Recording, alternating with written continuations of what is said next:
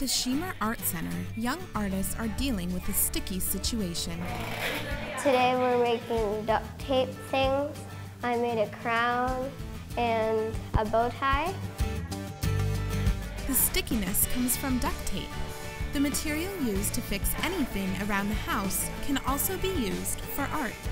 It's all part of Art Space, a summer art camp at the Shemer that expands campers' creativity through a different kind of art each day. You can technically make anything from hats to clothing. From purses to bow ties to hair accessories, the unique medium of duct tape can turn any ordinary object into a piece of art. One of the great things about duct tape is it's so easy to work with. Just a rip, a tear, and you're already on your way to creating beautiful pieces of art. The Shemer Art Center believes that art is a vital part of any child's education. They emphasize the importance of giving children the materials, space, and encouragement they need to express themselves freely. They just allow you to make pretty much anything you want with the things they give you, and then you could just go wherever your mind takes you. Through the freedom of art, some campers, like Sophie, are discovering their individuality.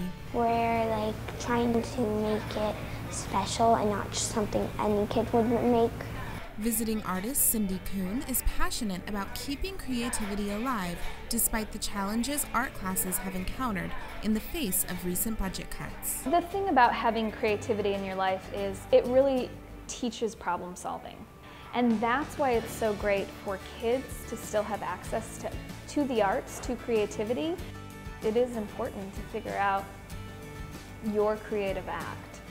Whatever your creative act may be, it's no doubt that duct tape art is enjoyable and possible for anyone. It's so kid friendly and it's also really friendly for those who don't have trained skills.